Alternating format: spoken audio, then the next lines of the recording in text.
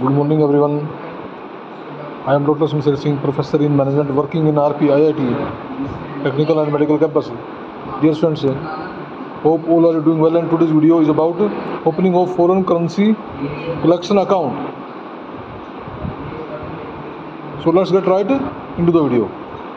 In order to facilitate collection of subscription from NRI at foreign centers, the Reserve Bank may extend permission to Indian companies inviting NRI investment to open temporary foreign currency bank account at foreign centers. Application for the necessary permission may be made by letter giving the names of names and address of the overseas bank branches with which accounts are to be opened full details of the NRI issue and the number and date of the Reserve Bank approval for issue of shares, debentures to NRI to the concerned office of the Reserve Bank of, of the NRI investment is on non repatriation basis or the bank of the NRI investment is on non-repatriation basis or the investment is to be made in a 100% export-oriented unit and to the central office of the Reserve Bank of Reserve Bank in other cases. After final allotment of shares, debentures to non-resident subscri subscribers to the new issue refund of the excess subscription of if any, may be made of funds laying in the overseas account. The account in thereafter to be closed and the balance, if any, repatriated in India. The application money for subscription to a new issue of shares debentures of an Indian company by an NRI may also be paid in India by debit to the Non-resident applicant,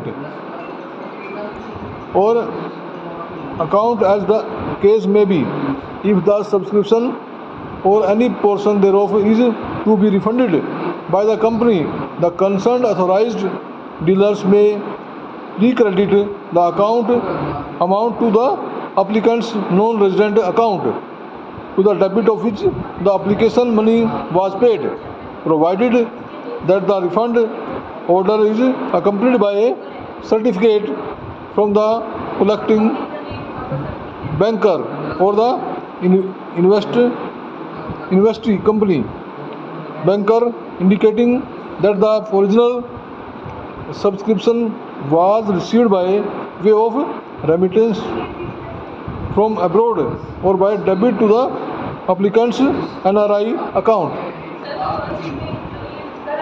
then we discuss about the sale transfer of shares bonus or debentures sale transfer of government securities units and narai may freely sell transfer government securities through a stock exchange in india provided that the sale transfer of the securities is arranged through an authorized dealer similarly nri holding units of uti may freely tender them for repurchase by the trust.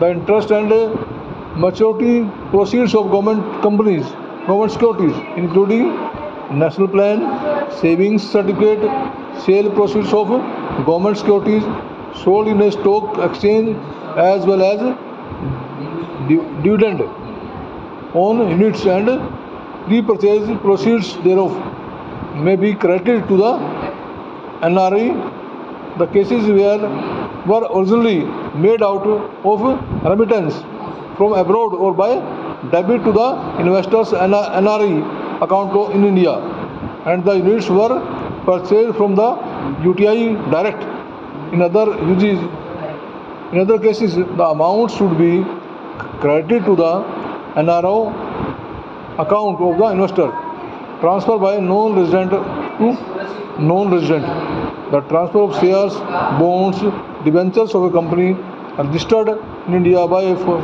person resident outside India to another person also resident inside, outside India can be made without reference to the Reserve Bank.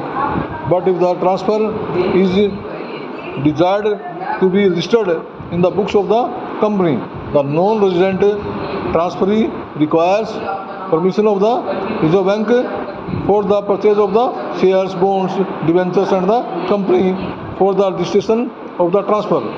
Transfer by non-resident to resident. No transfer of shares, bonds, debentures of a company registered in India by a non-resident in favor of a person resident in India will be valid unless the transfer is confirmed by the Reserve Bank.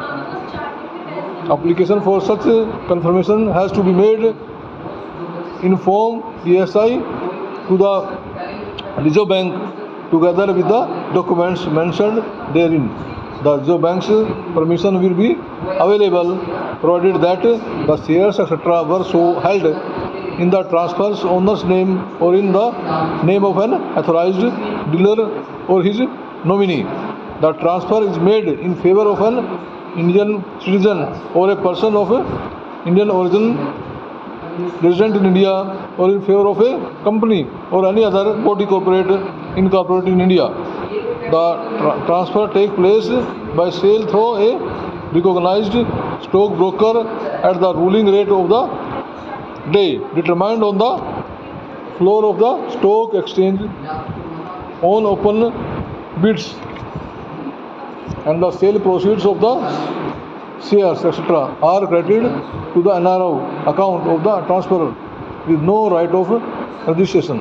Okay dear student, these are the process opening of foreign currency collection account. Thank you. Thank you very much.